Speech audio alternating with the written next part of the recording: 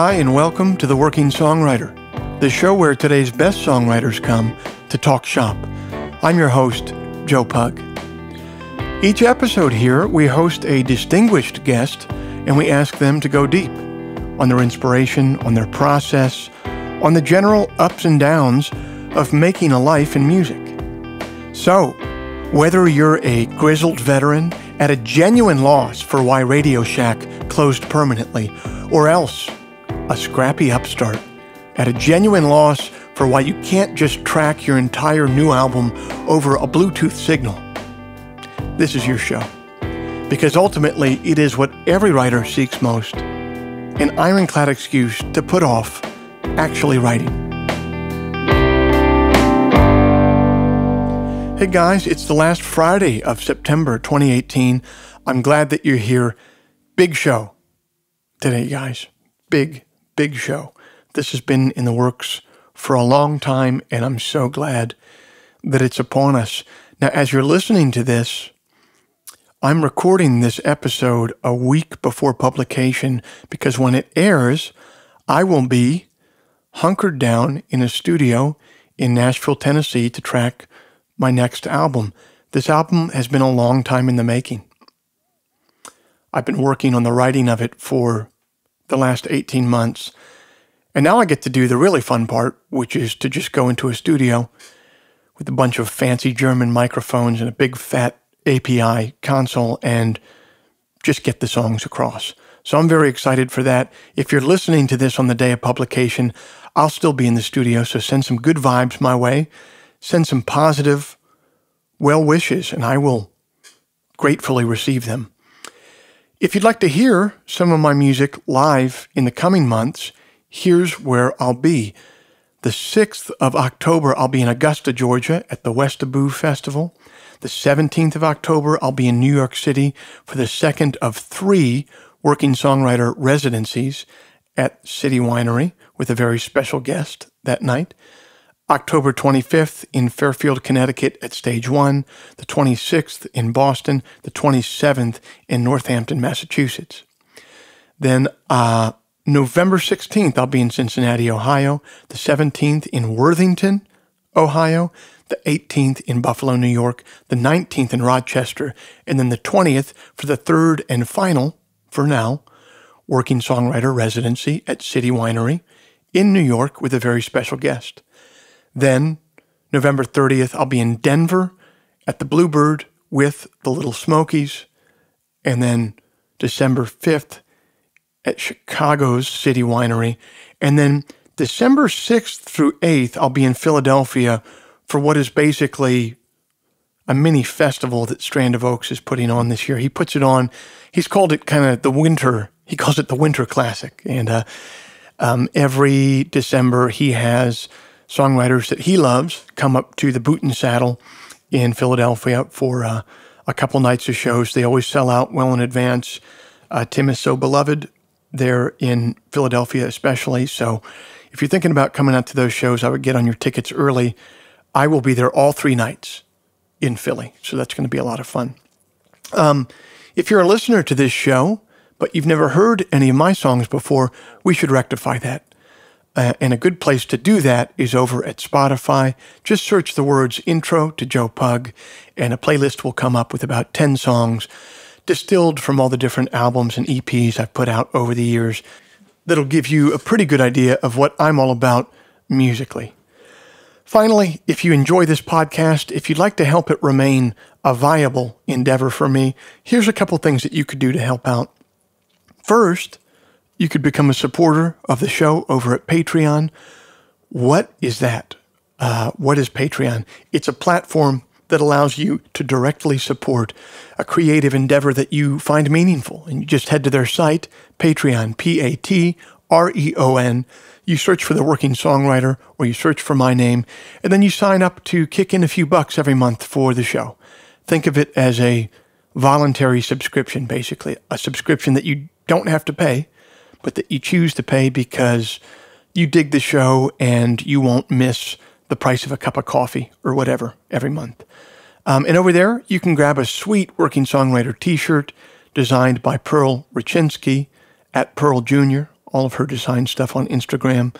Or you can check out all the other content I've posted over there for supporters at Patreon. There's the first episode of the new podcast concept that I did with Tim Showalter called The Oaks Chamber. There's the first episode of the Working Songwriter Alumni Show, where I catch up with past guests. That features BJ Barham of American Aquarium. And this month, hopefully, I'll be posting the audio from our first Working Songwriter residency event in New York that I just did with the wonderful Birds of Chicago. Did I also tape a uh, a proper Working Songwriter episode with them? Maybe I did. We'll find out soon. Um, head on over there to Patreon to support if you want to do it in that way.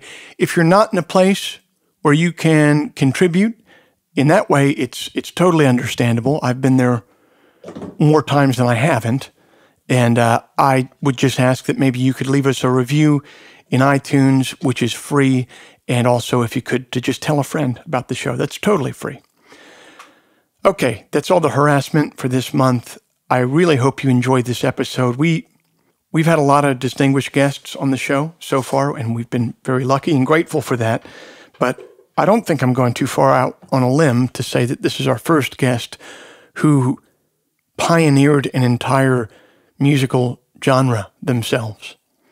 And, you know, myself growing up around DC, bands like Minor Threat and Fugazi and all the bands on Dischord really loomed large in my musical imagination, were really kind of founding rocks of my musical mythology as a kid. And, you know, doing this episode was so fun. Even the research for it has been fun. For example, you'll hear in just a moment when I reference um, Ian's musical trajectory, he used to go see these big arena rock concerts at the Cap Center in Landover, Maryland. And no joke, that's where I graduated high school. I, I found out that I walked across the stage to grab a diploma in the same room that Ian MacKaye and Henry Rollins saw Jimmy Page play Kashmir. So obviously for for personal reasons, this has been probably the most fulfilling episode that I've gotten to tape so far. And I also just got to say that all of my interactions with him in in setting up this whole interview were exactly as I could have wished for them to be. I mean, he had no publicist or agent or third party to go through. He set it up directly himself and when I arrived at the Dischord House in Arlington, he was there by himself with the lights off because the place doesn't have air conditioning and he wanted to keep it cool. And he was rolling cables, just rolling up XLR and RCA cables by himself in the dark. Perfect. Absolutely perfect for how I wanted my first Ian MacKaye experience to go in my life, man. So, yeah, it was a peak. Uh, professional experience for me, man, to meet the man, to get a glimpse into his world. And if you enjoy this episode one iota as much as I enjoyed putting it together, I think you're really going to dig it. So enjoy.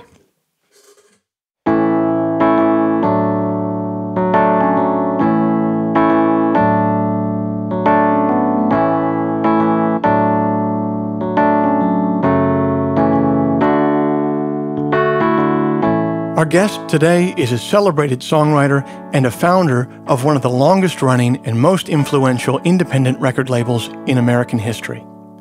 Ian MacKaye was raised in the Glover Park neighborhood of Washington, D.C., in a family that was active in the socially progressive St. Stephen's Episcopal Church. In his formative years, he would pal around with neighborhood friend Henry Rollins to mainstream rock concerts like Led Zeppelin, Ted Nugent, and Queen at the Cap Center in Landover, Maryland. All that changed when he attended a concert by the Cramps at Georgetown University. He was introduced to punk music, and neither he nor punk would be the same again for it. He formed Minor Threat in 1980, and after releasing a string of influential EPs and a studio album, the band dissolved due to creative differences. In 1987, he was a founding member of Fugazi, who, over the next few decades, would establish themselves as an essential American band. The band was known for their ferocious sound, pointed lyrics, and their uncompromising business ethos. That ethos made them something of a spirit animal to bands signed to major labels in the 1990s, with Kurt Cobain name checking them in Rolling Stone and Eddie Vedder going on MTV's Headbangers Ball with their name written on his arms.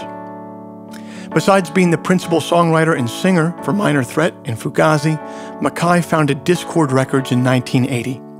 The company has released albums not only by those bands, but also The Faith, Void, Rites of Spring, Jawbox, Scream, and a host of others. The homegrown company has sold millions of records. Today, MacKaye spends most of his time managing the label and playing with the Evens, the band he formed with his wife, Amy Farina. He had me meet him at the Dischord House in Arlington, Virginia, and as military helicopters buzzed above toward the cemetery, he and I sat down to talk about his storied life in music.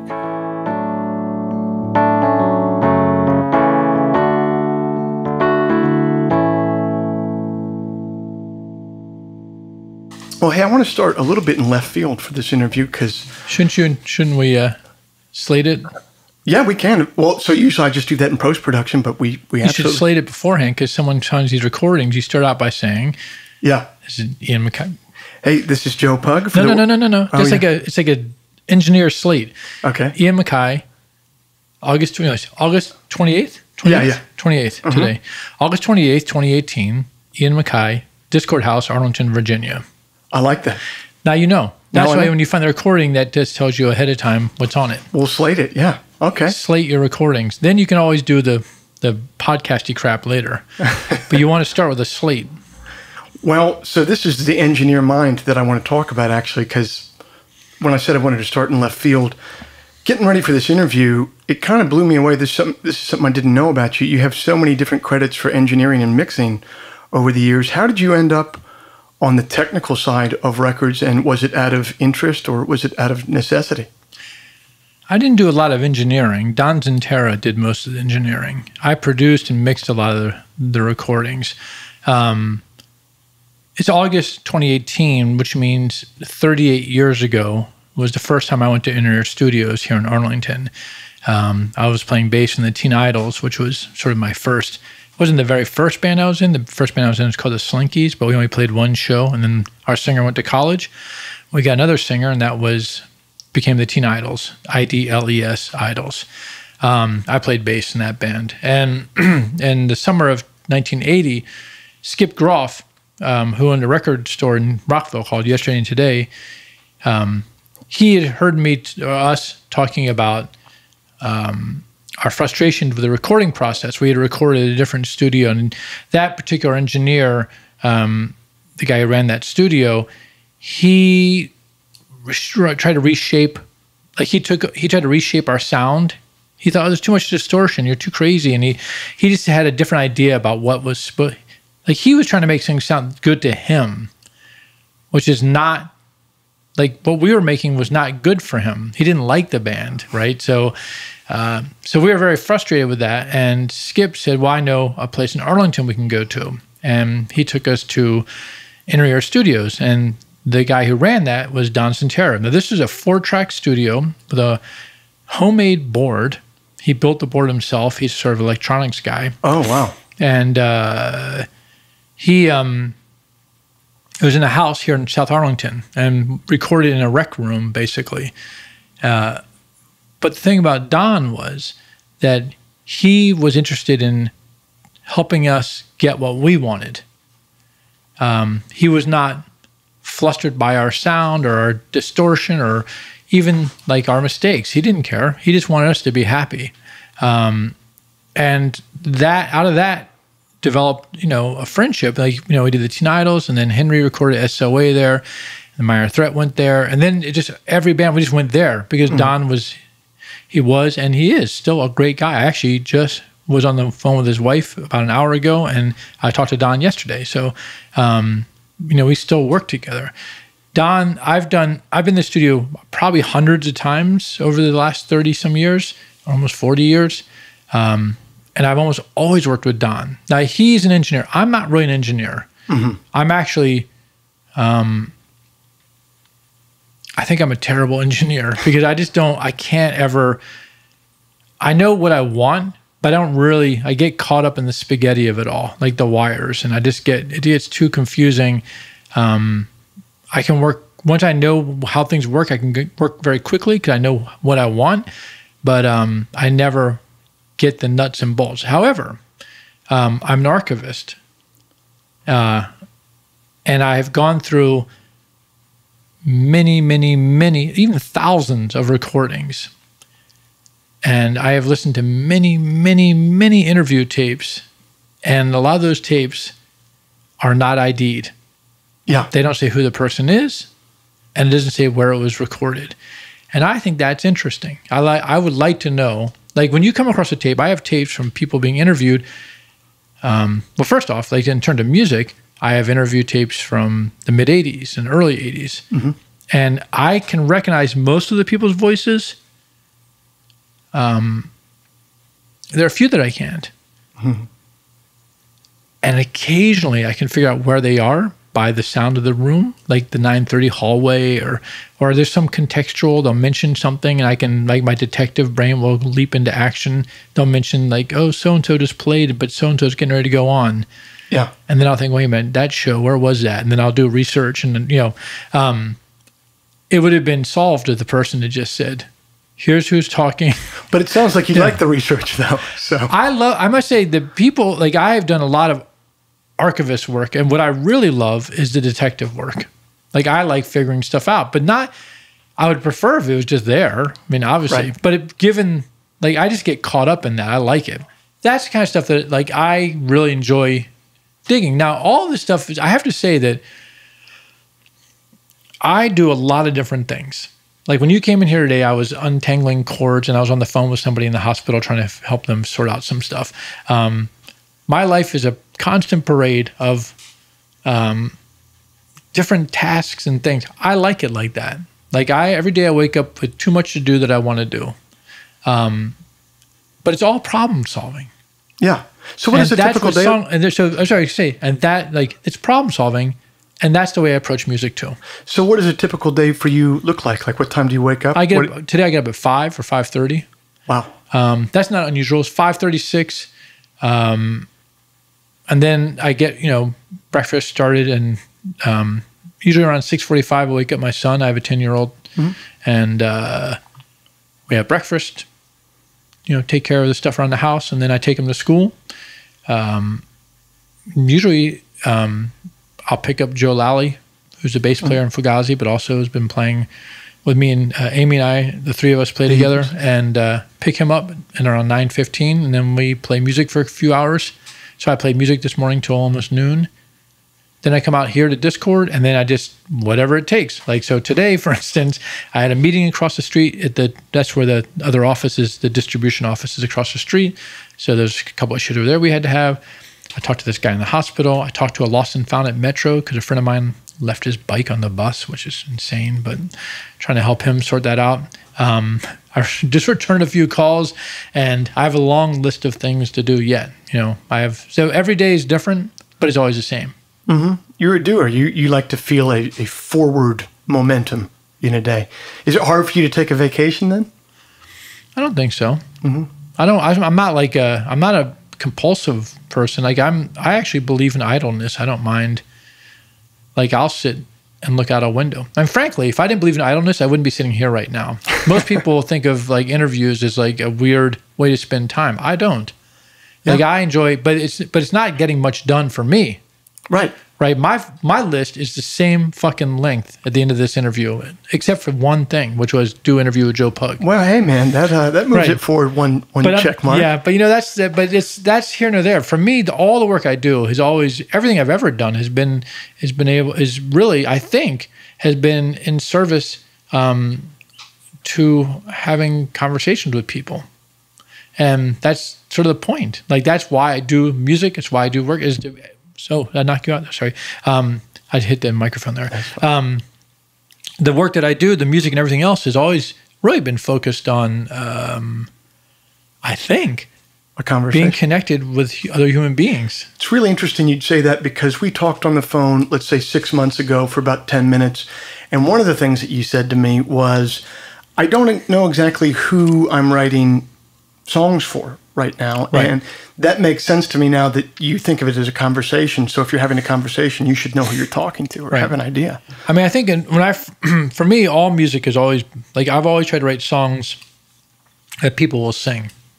Yeah. because that I think the um, the most elevated state that I've been in, or one of the most elevated states I've ever been in, uh, frequently is being in a room with people singing.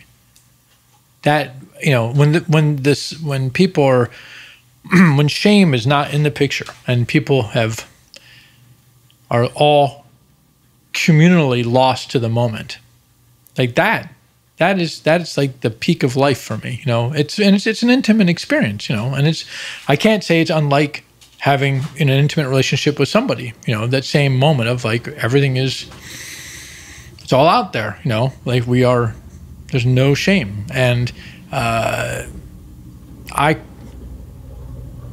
It's all good. really this is this will go right into your thing the helicopter I know, but it's just giving some, uh, Yeah.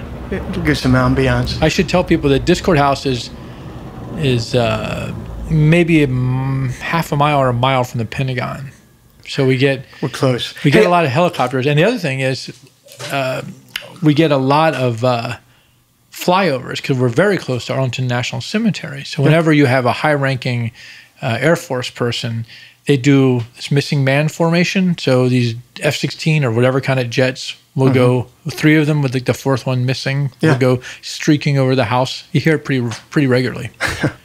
Yeah, you guys are close. I, I don't want to miss though uh, the end of this point that you were making there because I think it was great. Oh. You, this elevated state that you get in. Yeah, I, I do think it touches some part of uh, our reptile brain. I think we've been doing this for a very long time as human beings, being together uh, and communicating in that way. Well, you, I mean, I don't know if you ever heard me say this, but this, I've said this many, many times that music is a form of communication that predates language. sure. And so I think it is sacred and not Christian sacred. it's like sacred, sacred. Like before Christianity is like Johnny come lately in my mind, you know, like this goes back well before, you know, any organized religion. I think people use rhythms and intonations to communicate with each other. And I think music today, still, when we sing, you know, we shape sounds into words um, frequently, not always. Um, but we're really communicating as something different than what those words are. So when I write, for instance, like there was a period of time where I was I was really feeling stuck um, in my songwriting. I had like a like writer's block, and uh, I would talk to various peers, musician friends of mine, and there is a oft um, repeated thing which I'm sure you've heard, which is get out of the way, like you're in the way, like we're just uh, a lightning rod for you know whatever God's God's mu- creative power, whatever. That Yeah, just a vessel, right. basically. I I actually reject that. Um, I think it's there's actually kind of a weird conceit to that. This idea, like, oh yeah, I'm God's special translator for you know, like I, that seems ridiculous to me. You know, to me, um, I actually think that music comes out of us um, as any, and everybody has a form of some kind of creative something comes up, um, and but still, I felt like it's weird. Like I was really struggling, and then I realized that the music part of it, I don't have ever have any trouble writing. I you give me a guitar, I'll come up with a riff. Now Yeah. maybe similar to another riff I've written. It doesn't matter. Like it is like I'll just write. I write and write and write and write. There's riffs and riffs and riffs, and then I might follow. Like I might come across a riff, and then it will take me somewhere because it's linear for me. Like I'll play something, and then I'll go like, oh, this needs to go here, and then I'll go there and like, oh, well, I know what this has to do now, and then you know, it's like it's, it's like it. Fo- I just follow that path, um, and I don't know if it's f- as a result of um, listening to music for so many years that I have some. There's some weird schematic or blueprint in my mind about Yeah. what sound should follow. Um, I never studied music. I can't read music. Uh, I once was playing something for somebody who was very learned, who understood music theory, and he said, "Oh, you're doing a whatever the word was," and then he did a what he actually understood what I was doing. I but it was as if, but I, it was certainly not intentional. Mm-hmm. It was just what sounded right to me. Um, so writing music is not a problem, and I know what those songs are about, right? But mm-hmm. I can't put it into words, literally. Do you understand? Like those are lyrics. Because the words are lyrics. So I know my pieces of music. I understand what they're about, but mm-hmm. I can't put them into words. Um, that's why I play them. That's why yeah. I play the guitar. That's why I write the songs that way. So then I play them for myself, or if I'm playing with other people, we'll start developing it and, we'll, and then it becomes our song, right? Starts out as my song, then becomes our song, which, and that means that other people will they're in the relationship, like in the, because I think of banter relationships for me, uh, they will start shaping along with me because they also hear things and, mm-hmm. and we're working together. That's a relationship. Um, oh, sorry, helicopter coming. So um, at some point, we have an instrumental song. Now, that it could be, it could stay that way, and I would be satisfied. But if we decide that we want to present this song in public, then I have to write words, right? Because the words, without the words, um, people won't understand the song the same way. Like my, this is how I look at it. Like they'll, like I want to communicate to them like what this song was about. So I want to put it into words now. So then I have to find words that will um, meet the challenge, that will like that resonate with me. Words that actually will, in some degree, will um, be representative of the significance of this piece of music for me. Um, and that's the challenge. You know, that's why I when I write lyrics, I I gotta believe them. Mm-hmm. Like I I'm not like I, I I understand there's plenty of people who can write and just like, they just throw words in and it's like and they should maybe it's just a sound like a sonic thing and they just know this sounds good or maybe it's just all imagery and they just kind of toss that in there and I respect it. Yeah. Like I, I don't have any issue with that. But for me, like I have to believe it. Like I just can't I don't I can't sing something that doesn't mean something to me. And presumably means something to who you believe that you're talking to, that that other party. I mean, I don't know about that because I am only interested really in the transmission. Right. And transmission and reception are two different things. Um, so any piece of art or any any kind of offering, whether it's like, for instance, if you were a chef, maybe you are a chef, I don't know, but if you were to cook something and something that you right to your taste, you could bring it to a room of people and the six people and you know five of them might think it's delicious and the sixth one think it's it's disgusting. Yeah. Um, transmission and reception are different things, and people are not wrong. Like when someone says to me, "Oh, this song's about that," I'm like, "Okay." Yeah, I suppose. You know, I don't know. I, I just don't. You know, like I for me, I know what the song, what I was writing about, but once you release it, yeah, I mean, literally, I don't mean release it through a record. I mean, release it like a butterfly or something. Like once you let the song go, um, what it's about is up to the listener.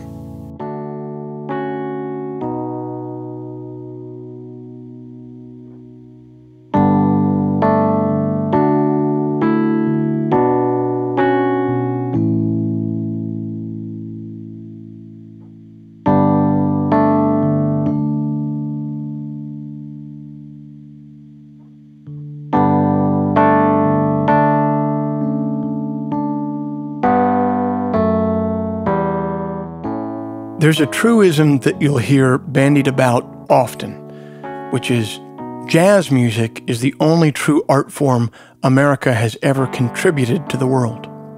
Now, there's people who have a bone to pick with that. Some would argue that the American inventions of film, of comic books, and even of video games are equally iconic contributions, but that nitpicking is kind of missing the spirit of the question. Of course, jazz, which was the catch all term for all African American music at the turn of the 20th century, of course, jazz probably best represents our national contribution because It's the trunk of a tree that gave us branches into blues and bebop, rock and roll, rap, a host of others. But there are a number of uniquely American musical dialects, and just because they don't rise to the station of jazz doesn't mean that they're insignificant. American hardcore is chief among those homegrown musical voices. Punk music in general was an artifact of a 1960s counterculture that had atrophied. Kids coming of age in the late 70s were old enough to remember the ideals of the 1960s social movements such as racial equality, pacifism, environmentalism, but they were also young enough to notice how that 60s idealism had entered into a decadent phase in the 1970s that was defined largely by heavy drug use and conquest driven sex. They leveled a partly justified critique at the flower power generation that they were just simply draping virtuous platitudes around a crass desire to party, blow off some steam, and get laid. So, the punks rebelled against the rebels. How it developed from there is described by Michael Azerrad in his seminal book, Our Band Could Be Your Life. He writes Hardcore was the latest volley in a transatlantic tennis game with punk rock as the ball. The British had received the first wave of American punk bands Richard Hell, Television, Talking Heads, Blondie, the Ramones, and they fired back with the Sex Pistols, the Damned, Buzzcocks, and countless others. So hardcore music was yet another rebellion, this time against the punks themselves. As Kelefa Sanneh put it in The New Yorker, the idea was to outpunk the punks, thereby recapturing the wild promise of the genre with its tantalizing suggestion that rock music should be something more than mere entertainment that it should, somehow, pose a threat to mainstream culture. Scenes developed independently around the world in Los Angeles, San Francisco, New York, and most notably, Washington, D.C. The sonic fingerprints are unmistakable. Punk music still hewed close to mainstream rock's reliance on melody. Hardcore music instead emphasized throttling rhythms and anguished vocals. And hardcore didn't just distinguish itself musically. The cultural idiosyncrasies that defined hardcore, you could argue, have been in some ways more enduring than the sound. Their ethos celebrated independent record labels and imprints, DIY fanzines, networks of house concerts and vaguely legal venues, and a wholesale rejection of commercialism. There was also an emphasis on band members not just being the talent on stage, but true members of a community who would be equally at home ripping off a guitar riff or stuffing 7 inch vinyl in sleeves, roading for a friend's band, or answering the record label's telephone. The DC hardcore scene added a final cultural wrinkle that's known the world over. The minor threat songs Straight Edge, Out of Step with the World, and In My Eyes had lyrics that laid out a worldview of sober and forthright living, or what many would call rebellion through self control. And that movement was also called straight edge. So you really never know where your music will end up. You release it into the world and it takes on a life of its own. The songs that MacKaye wrote for 10 friends at Wilson High School became an entire culture and an American musical dialect.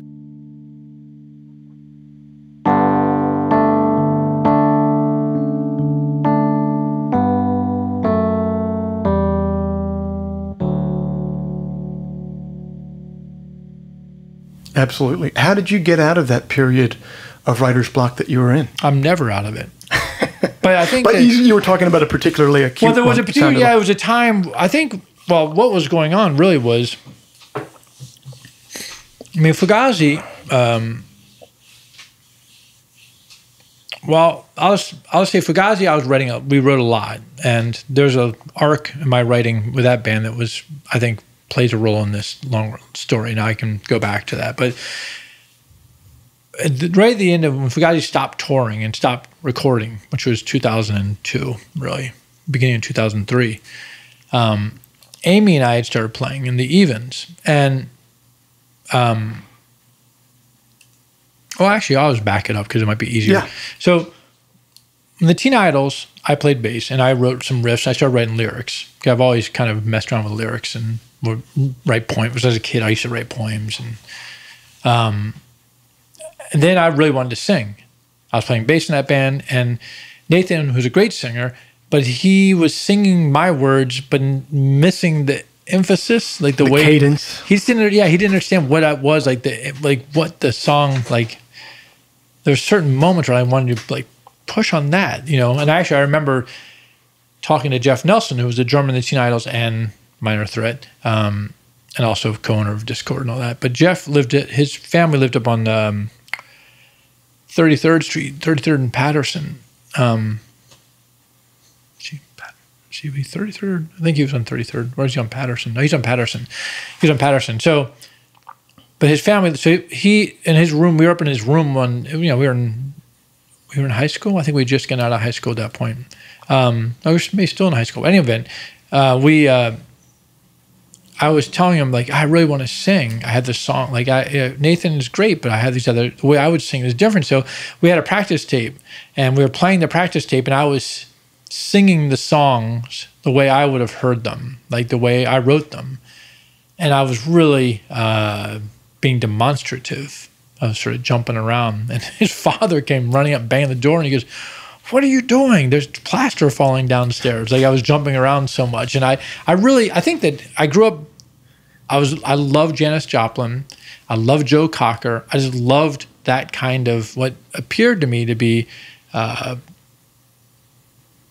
a complete commitment, like shameless, like shameless, like just really leaning into it. And you know, I first saw Joe Cocker, I thought that he was a like a something wrong with the guy. Like if you, you know the Woodstock footage is so surreal because he's just like quivering and shaking Yeah. and spazzing and and um, but I grew to really love it. And Janis Joplin, obviously, like if you watch footage of her, she also is so she just leans into her performance, and that really spoke to me, and that's how I wanted to sing. So I was writing songs as the Teen Idles were winding up in, in the fall of 1980. I started writing songs for what would become Minor Threat. Um, Okay, we knew the band was going to break. The guitar player Jordy had quit, and so I knew the band was coming to an end. So I just started writing songs and writing writing the music, and I wrote the music and the lyrics. And then in Minor Threat, because I was just a singer, and I had written a lot of the music in the beginning. And then as Lyle and Brian started to write, and Jeff, they start, you know, the band started developing. I still wrote lyrics, but you know, the songs I was writing, it was very easy to write back then. I was, you know, just because life was was clear. Um, I was also, you know, I didn't have a family. I didn't Less you know, responsibility. Yeah. So, and you know, I used to work in a movie theater and just sit in the box office, just looking out the window on the on the Wisconsin Avenue on a Friday night and just looking at the masses of people going by. Boy, that was fuel. I could just write a thousand songs about them. So, um, and then I was in, uh, you know, Minor Threat was th- three years, and then Embrace, you know, again, I was really, um, I was prolific. I was writing a lot. I had a lot. There was a lot of politics going on. A lot of like there was like I was in you know in my early twenties and things were. It was just a lot of there was a lot of things to write about. Um, but that band was short lived. We only played I think eleven shows or something, and it just completely fell apart. Um, then I thought, oh, I don't want to be in a band. I just want to play music. Because being in a band seemed to be disastrous. So just play music. So that's how I ended up playing with Joe Lally, he who I'd met sitting at this very table when he was roading for Beefeater in 1986. And then we just started playing. I said, I, "Do you want to play music with me? Not be in a band, just play music." And he said, "Sure." So we started. So I started writing songs, and he was still developing his bass playing, and I started writing lyrics. Just kind of not in the very beginning, but at some point, you know, I started writing lyrics because I just had melody ideas and I had some I had some ideas. Um, by the time Brendan jo- joined, which was six months later, we had another drummer before that. Mm-hmm. Brendan was another band, so I just asked him if he wanted to fill in because we needed someone to play with, and he was practicing here anyway at this house. So, so he started playing, but the songs were almost not entirely, but I'd say ninety percent written by me. Like I wrote the, the riffs and the lyrics, and you know, boom, and then basically the arrangement. Not everything. I mean, obviously Joe and Brendan. Joe had plenty to say about it, and then Brendan really started to shape things. Um, by the very beginning of Fugazi, most of the songs were songs that I basically had written, or not all, but most. Um, and I'd come and say, "Hey, here's a song." Like I'd come with music and lyrics, boom.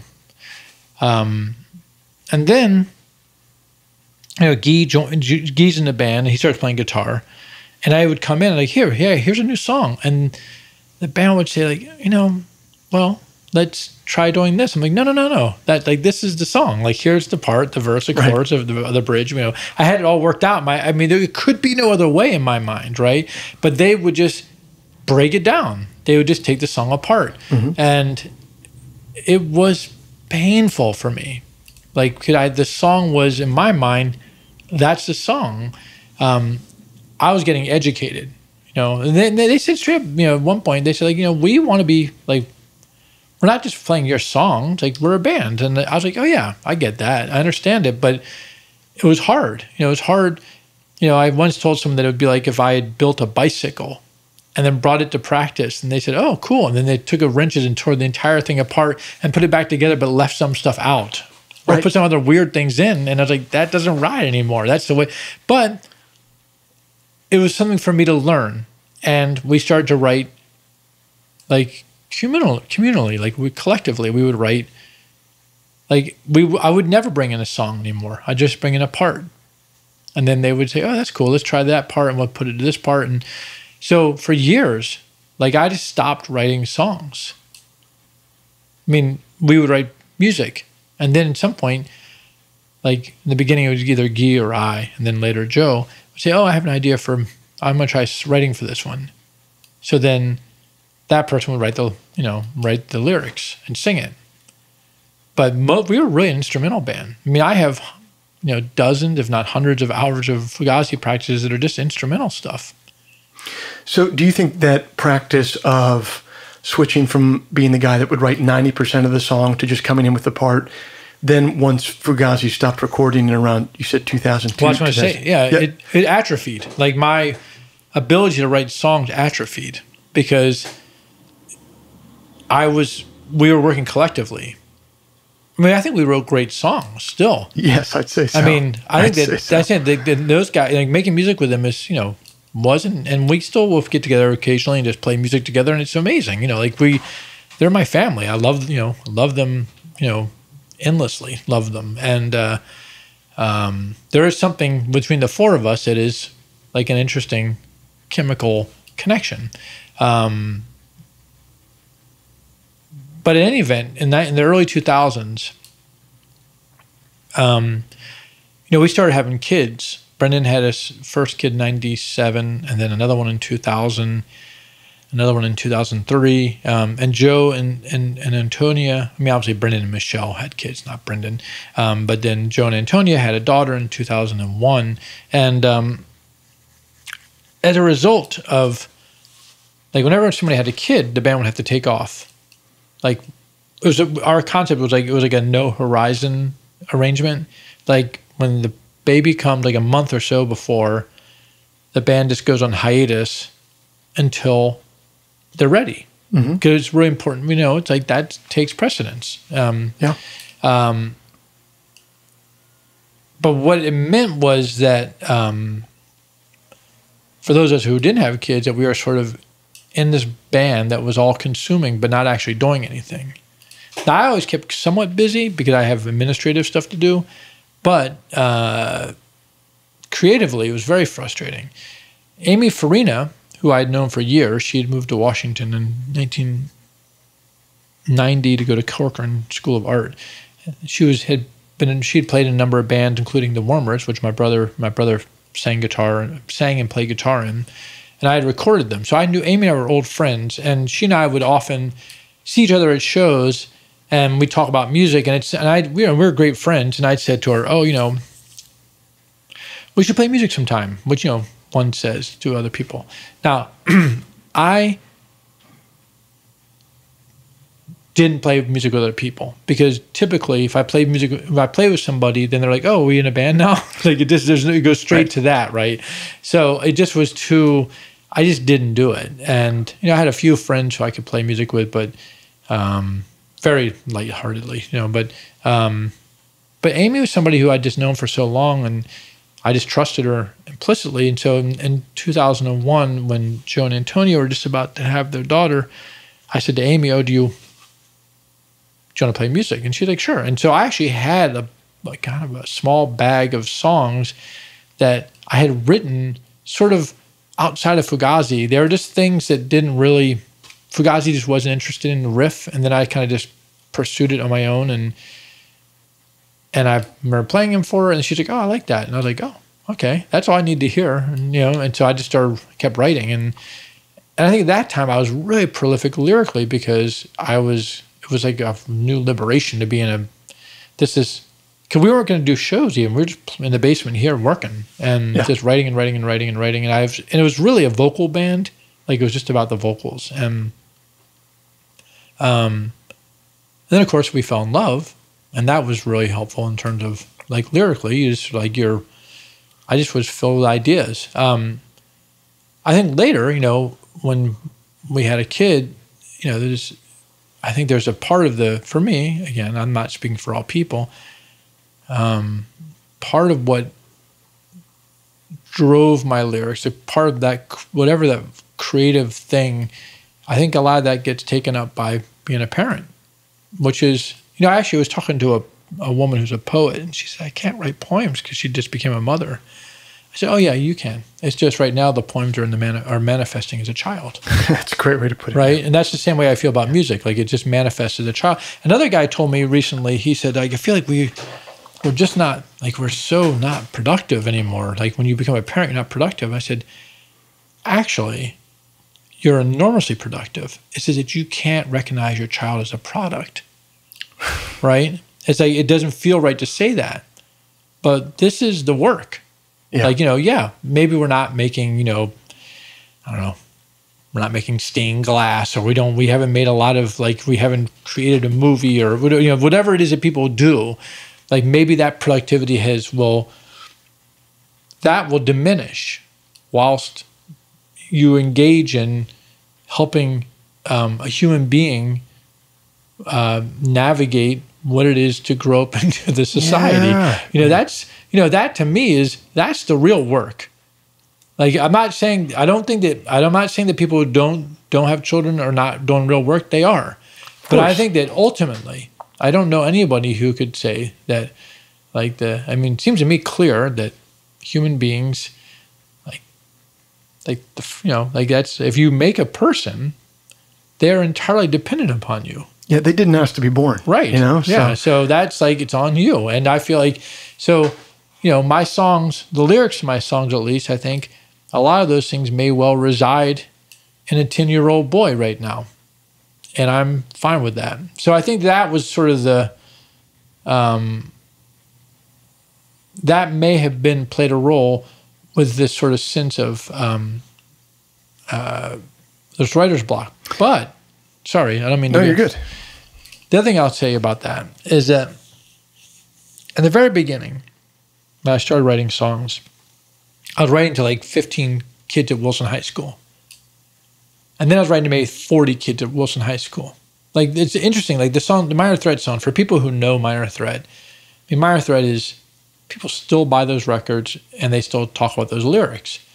Um, and it's very strange to think about for me. Sometimes, like I'll be like, I can remember like a guy in Brazil being coming to me and being sort of up in arms about one of the lyrics from one of the songs, and I think if people could understand that at the time that I wrote those songs, I had never would have I never even dreamt that anybody outside of Wilson High School or Washington D.C. would ever hear these songs. It would never occur to me. I certainly wasn't thinking that it would be something that would go on for 40 years. You know, like that people would talk about for, or close to 40 years. Um, and this is a really, a really good example of this. Is like there's a really clear example, which is I wrote a song called "Guilty of Being White," um, and it is a song that I wrote. I went to Wilson High School; it's a public school in Washington D.C. I went to Gordon Junior High School, which is a public school in Washington D.C. And I was a clear minority in those schools. I was the white a white kid in a much like Gordon was probably ninety percent black. Wilson was probably seventy. Um, and I experienced like I was bullied like by some of the kids. Like I think that bullies um, seek the other. And so if you're in a school that's 90% black and a black bully will seek you out because you're the other. I was the other. And um, and I also, you know, it was excruciating to in American history to talk about slavery and then have kids like jump up on you after the class, yelling at you about that. It was terrible. Like it was a nightmare. Um, I mean, I certainly wasn't like I. I was twelve, you know. Like, what did I have to do? Like, I didn't know what the you know what the fuck this was about. Like, I just so I thought that it gave me a really specific um, and peculiar uh, view on this issue of racism, having being the idea of people being judged by the color of their skin. So when I, you know, I was 18 when I wrote it or something like that, and I wrote a song about an anti-racist song saying it's wrong to judge someone by the color of skin, but I was taking this tact as like as a minority and reversing it. Now I understand it's ham-fisted. I get it. I understand. Like I know that there's a thousand arguments against it. I know that now. I'm 56, right? I might have even known it when I was in my 20s. But in 19 in 1980 or whenever it was I wrote that song, um, I was singing to kids here in Washington, D.C., who understood that because they lived here. I wasn't thinking about people, anyone outside of that place or time. Um, so then, like, fast forward to say 1995, and Fugazi's playing a show in Poland, and this Nazi skinhead guy comes up and thanks me for that song. Yeah he's like, "Thank you for singing about the white man." And I was like, "Wow, that is not." well, there's your transmission right, reception exactly, problem, right? Yeah. Right, or not a problem, it's just a reality, yeah. right? So um, I really, I think that these sorts of things are. Um, I think these sorts of things are. Uh, it's contextual. So I knew who I was singing to then, and I think I quickly learned that. Um, um, like with Minor Threat, for instance, the reaction I got about the lyrics and the, how misinterpreted those songs were. You know, like for instance, the song Out of Step, which I thought was a really beautiful economical song. You know, don't smoke, don't drink, don't fuck. At least I can fucking think. I'm out of step. I can't keep up. I can't keep up. I'm out of step with the world. And I thought that that's that feels clear to me. Can't can't misinterpret that. but in fact, you know, I think you know people really misinterpreted that because they thought it was anti-sex, yeah. which was not anti-sex. Uh, don't drink. No one thought that I was against all intake of fluids, right? Right. So for, to me, language counts, and I said don't fuck, but it was really about this idea of uh, people, you know, being abusive or, or conquest oriented or you know taking advantage of other people, just focusing on sex as a way to dominate or as a power thing. Um, and that's why I use the word fuck. Um, but also because that's what everyone was talking about. So I was trying to get in their face, and it worked. Um, but it was deeply mis- misunderstood because everyone thought that we were like that, or not we, I was a like some a celibate dude, which I was not, and was not promoting. Um, so I realized early on that words can be misinterpreted, and I uh, started thinking about who am I singing to. So, say Embrace, I knew like there was a more political thing going on in the scene. There was a community, and I knew who I was singing to. And then Fugazi, in the very beginning, I knew who I was singing to. And then at some point, I was really writing to the other members of Fugazi, right? Because that's who like that was. You know, that was you just it wasn't until, and then I was writing to Amy, but then at some point, I just didn't know who I was singing to anymore. And that's the part I think you were trying to get at, like this idea of the conversation. Like, I just don't know who I'm singing to. Because when I sing, like, even this podcast, like, I don't know who I'm talking to. Like, I'm talking to you theoretically, mm-hmm. right? But that's not who's listening. Like, well, you might be listening at this moment. Right. But that's the whole thing about podcasts. Like, you know, you're not the only one listening. Right. Um, and, so when I talk about, say, the song "Guilty Being White," there might be somebody out there who will be saying like, "Oh, I totally understand what he's saying," and somebody else will say, "You know, that's bullshit. That's like, you know, you're you're entitled, like you're, you know, whatever." They, right. it that's the thing. So I think with with um, writing songs, like I knew who I was when I knew who I was writing to or who I was in conversation with musically. Uh, if I felt some context, it was helpful for me in terms of knowing how to how to address them. That's all. How to address these people, and I think that the uh, the generational component, people I, who have seen me for 40 years playing music, and people who've never seen me, and everyone in between, it's hard to quite know like how to approach it because if i if I bring it one way, then the people who've known me forever are like, oh God, he's still doing that. And if I play it the other way, the people who've never seen me before are like, well, he seems kind of reserved, or you know, it just yeah. it's it's why in some ways I prefer playing on the road.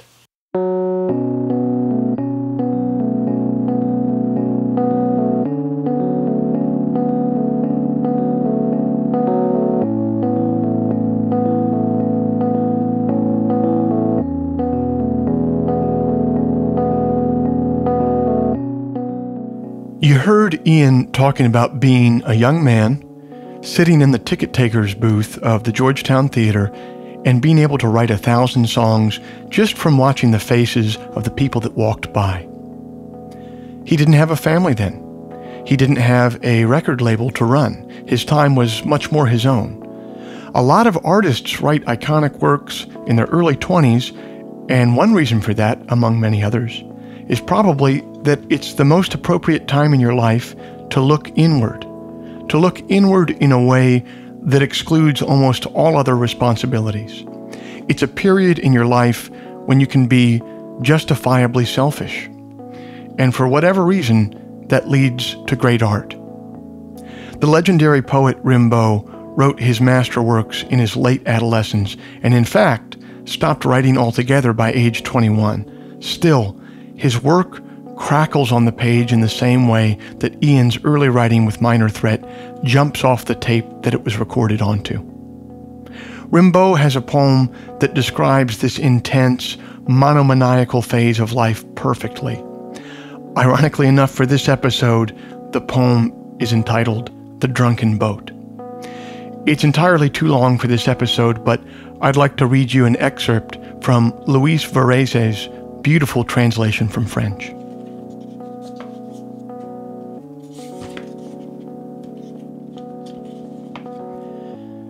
As I came down the impassable rivers, I felt no more the bargemen's guiding hands. Targets for yelling redskins, they were nailed naked to painted poles. What did I care for any crews, carriers of English cotton or Flemish grain? Bargemen and all that hubbub left behind, the waters let me go my own free way. In the furious lashings of the tides, emptier than children's minds, I through that winter ran.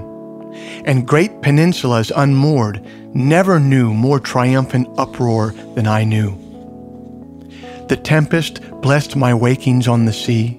Light as a cork, I danced upon the waves eternal rollers of the deep sunk dead, nor missed I at night the lantern's idiot eyes. Sweeter than sour apples to a child, green waters seeped through all my seams, washing the stains of vomit and blue wine, and swept away my anchor and my helm. And since then, I've been bathing in the poem of star infused and milky sea devouring the azure greens where, flotsam pale, a brooding corpse at times drifts by. Where, dying suddenly the blue, rhythms delirious and slow in the blaze of day, stronger than alcohol, vaster than your leers, ferment the bitter reds of love. I know the lightning open skies, waterspouts, eddies and surfs. I know the night and dawn arisen like a colony of doves, and sometimes I have seen what men have thought they saw. I've seen the low sun, fearful with mystic signs, lightning with far flung violent arms, like actors in an ancient tragedy, the fluted waters shivering far away. I've dreamed green nights of dazzling snows, slow kisses on the eyelids of the sea, the terrible flow of unforgettable saps, and the singing phosphors waking yellow and blue.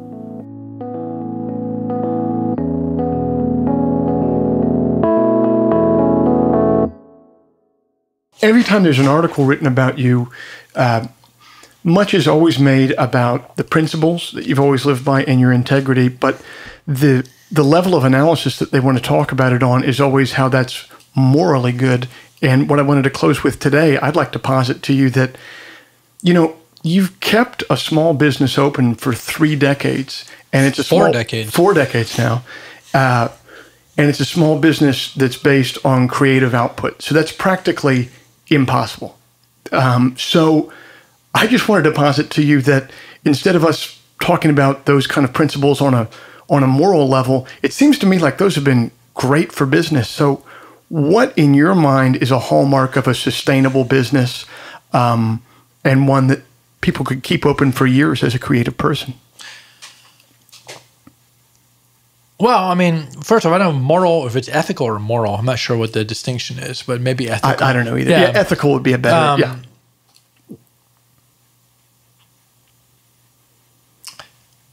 Uh, do you think that those have contributed to uh, the success, or do you think the it is just? Of course. I mean, yeah. I you know, I mean, if it's kind of, I mean, think about it. To me, I have to say that everything I've done, like on that level, business wise, super practical. I'm a pragmatic guy. You know, like you didn't talk to my manager to arrange this, or my booking agent, or you didn't talk to my publicity person. You didn't have to go through like you know. You talked to yeah. me. It's just practical. It's pragmatic. You know, like you didn't come in here and see like a somebody like somebody else wasn't tying these cords up. I was tying the cord up. It's pragmatic, you know. And I think that I'm I was interested in the idea of um, creating something that would go for as long as it needs to go on for.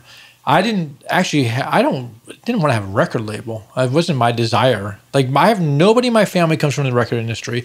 Nobody I knew came from the record industry. I actually don't like the record industry. That's why we have the label, right? Um, I was just talking to uh, this friend of mine who's in the hospital, and we were talking about some other people we know who had a terrible time with their label and got robbed, blah, blah, blah, by their manager, and et cetera, et cetera. And it's just such an alien concept to me um, because I just, that's why I got into, that's what punk was for me, was to not be a part of that. Um, I guess I'm an ethical guy. Um, but again, like if I'm walking down the street, I I'm not interested in robbing other people because it makes I guess it would make it, it seems really not pragmatic after a while because you're always running, you know, and and, and I don't want to be robbed. Um, and if someone else is robbing somebody, I feel like that probably shouldn't happen, you know. And so I feel like that there's, it's to me, if it seems so clear that if we work together, we can go farther. And you know, it's an interesting thing. Like I don't really believe in nations. You know, um, I understand that human beings are somewhat sorted out by their geography, but if you look at it the continent of Europe, for instance, and the number of different kinds of people squeezed in, as opposed to, say, United States, which is a bigger piece of land, and then somehow that's one country. Um, it doesn't make any sense, really. Like, it's not geographic. It's just it's some weird state of mind or something. But mostly, it's like when they stretch, they remove the borders within the United States people got along theoretically, right? Because there wasn't this delineation based on whatever. I mean, clearly in Europe, you have different languages and different cultures. Um, but it's interesting to me, like how those things, those cultural differences, result in friction. Mm-hmm. Um, I prefer. I think that life would be better if we got along. That's all. So I think I try to get along. That's that's it. So I'm not like the people work for me. I don't like you know the people work at Dischord. I tell them, I don't own your time. Dischord doesn't own your time. You own your time. Um, that means you don't have to be here at whatever time. You come when it's right for you. You just have to get your work done. But I want everyone to feel right. like that they, that I don't I don't want to own their time. That's what most jobs are. Like people don't own their own time anymore. They don't own their own lives. that feels unhealthy to me, and it feels like it would be a source of bitterness. Um, the, I have a friend who was, you know, all the punk rock, none of us had jobs really, the punks, well, we had part time jobs. Right. And I had a friend who, she got a full time gig at some point. It was a good, it was, it was you know, Washington Post. And she was stunned by what a full time job reality was. Like she'd never really had one. And she goes, It is really, really different to have to be there five days a week. And suddenly, like the weekends really take shape in a way that previously didn't because every day was sort of like, oh, well, you know, may have to be at the bookstore later on, or maybe you don't. But ultimately, you, there's no, but when you get into that lockdown, and you and also it's unending, right? Like you look, you try to look up the road, and you're like, I'm going to be doing this forever. Yeah. And I think that uh, that occurred to me probably when I was in uh, tenth or eleventh grade. And I had this moment where I thought I I thought I was going to be hit by a car. I I didn't. I wasn't, and I wasn't. I wasn't hit by the car that day, but I thought I was going to, and I thought I would die because it seemed like a pretty terrible situation up, upon me. Um, and I started to contemplate my death at that age, 16 or whatever it was. And uh, I thought, shit, if I had died then, I would have spent like the majority of my sort of cohesive, like sort of life, like my the life that I could remember, in this sort of institutional setting, like five days a week, going to school from nine to three. And I thought that's not what life is. That's a structure imposed on me by some other, like by society. And I decided right then, like, oh, I'm not going to volunteer for four more of those. So fuck college. I'm not going. Um, also, my family didn't have any money, and I wasn't going to get. I wasn't about to like. I realized if I was to take out school loans, I'd have to pay them back. You're a slave to that now. Right. Yeah. So if you pay them back, that means you got to get a job. And then you're just in.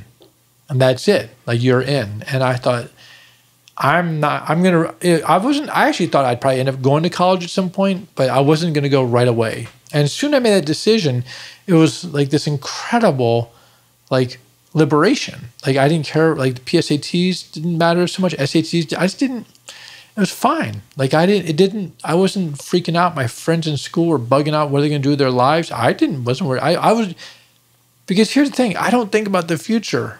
So I never did. I just thought like, people say, what are you going to do with your life? I go, I'm living it. I got my list I got to bang out today. Right. That's what I do. Like I'm like, I don't ever, people say, where do you see yourself in five years? I don't. Like I think when people talk about where do you see yourself in five years or 10 years, it seems so ridiculous to me. Like, um, like when did you start this podcast? Two and a half years ago. All right, so five years ago, mm-hmm. were you familiar with my work, my music, whatever? Yes. All right, so five years ago, would it have been even remotely conceivable that you and I be sitting here with headphones on and microphones talking to each other? It would not be remotely conceivable that I would be doing a podcast, much less being in a room with Right. you. Yes. That's my point. Yeah. So, what the fuck do you know about the future?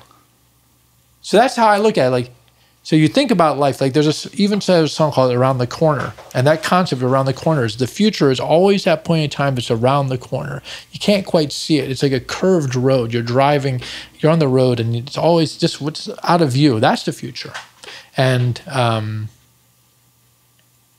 you know, and I, I tell people, you don't know what's around the corner. It could be if you're on a mountain road, it could be, you know, could be a, like a rock. You know, there might have been a, a you know an avalanche or something. There might be you know snow, or it might be like rocks on the road, or it might be the road might widen and be downhill, or it might be uphill, or it might be cracked, or there might be you know who knows? It might be a car crash. You don't know. You don't know what's around the corner ever Yeah. um, you can't plan on it so much as pay attention to where you are. If you're paying attention to where you are and you're in control of your vehicle and you're aware as you come to the future and it becomes the present, you'll know what to do because you're in control. But if you're staring at a point in the distance, let's just say you're on a, on a going along a road that's along the side of say a, the ocean, like the coast, and you can it the kind of road juts in and out, like you know, following the sort of curvature of the the mountains. Um, you might be able to see the road, maybe you know, in the distance, maybe half a mile or away. You could see the road coming back out. You can't see what's between that, but you can see you can see the road, and you can see maybe a boulder or something is mm. fallen on the road. Um, but if you're staring at that, you just crashed where you are. If you're focused only on that, so I always think just trust yourself, focus on the moment. Um, all this stuff, like I know it's like it's it's all a, it's prag it's practical thinking for me. So I think with the label, I always just looked at what's in front of me, the work that's in front of me, and like right now, like 38 years in, like we don't put out a lot of new records. We're primarily a historical label. Like we have a catalog. Um, But about five years ago, I was thinking about it, maybe 10 years ago. But I was thinking about this label and my work and how unusual my life is compared to most people I know, like in this city, certainly, like, like by the way I live. And I thought, oh, what a gift. Like, what a gift. Who made this gift possible?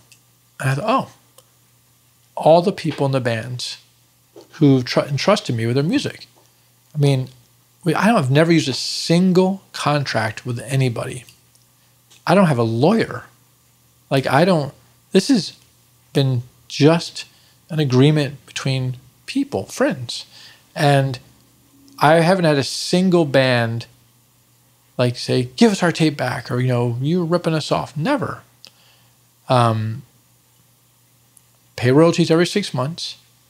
Be honest do just be do the right thing. That seems so clear to me. And about so I was thinking about these all these people who have entrusted me with music for so many years. And I realize now that as and this seems completely reasonable that the attention on this label would be winnowing because it's getting older and older. It's sure. long in the tooth, right? I mean, we're talking about records that came out almost 40 years ago.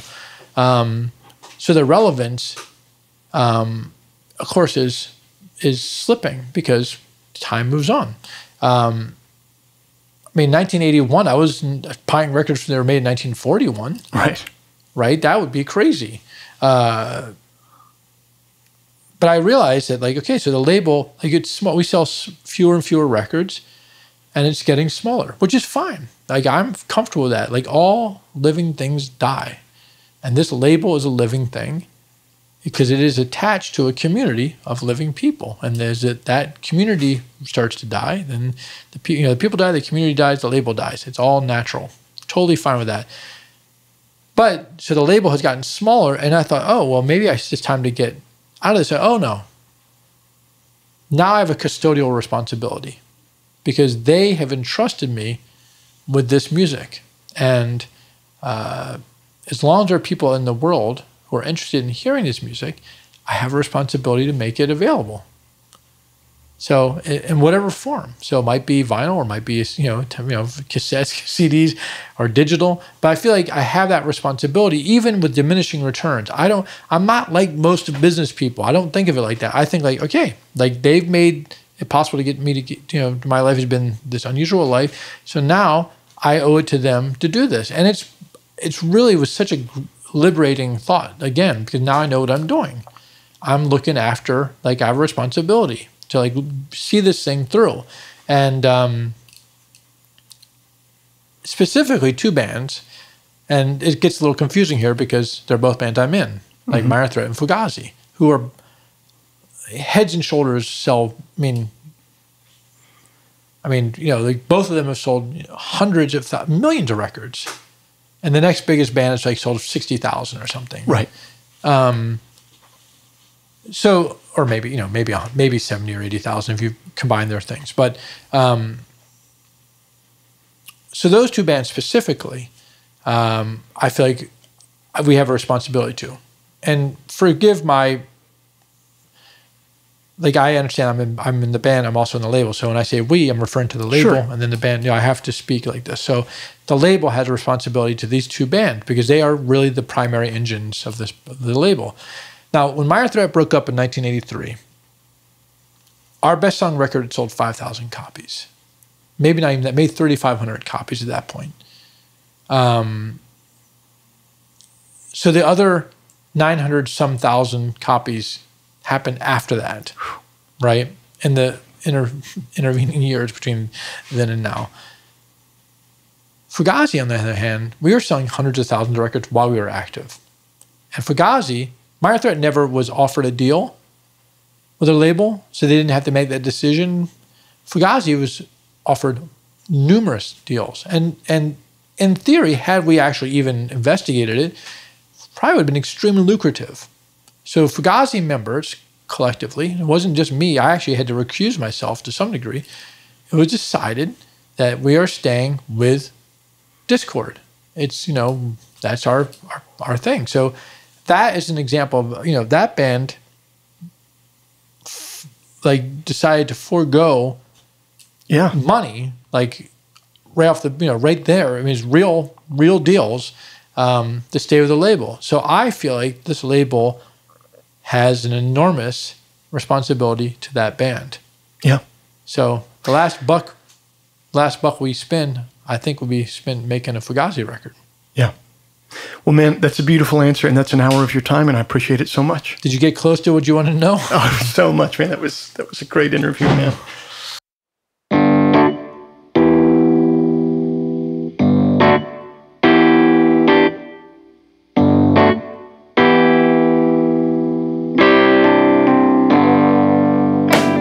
Ian's latest release is the 2012 album by The Evens entitled The Odds. Today's episode was mixed by Matt Schusler, research was provided by Paul Barbagallo, and this episode was brought to you by associate producer John McGeehan, whose company, Capital for Compassion, specializes in financing for new construction for low income housing. Their most recent work was the Salvation Army's Rathgeber Center for Women and Children in Austin, Texas. Okay, that's it. Before we meet again, if you sit down to write, please remember an expensive drug habit is not a song, a compelling Instagram account is not a song, and most importantly, reverb is not a song. So let all that take care of itself, and for you, just keep your eye on the song.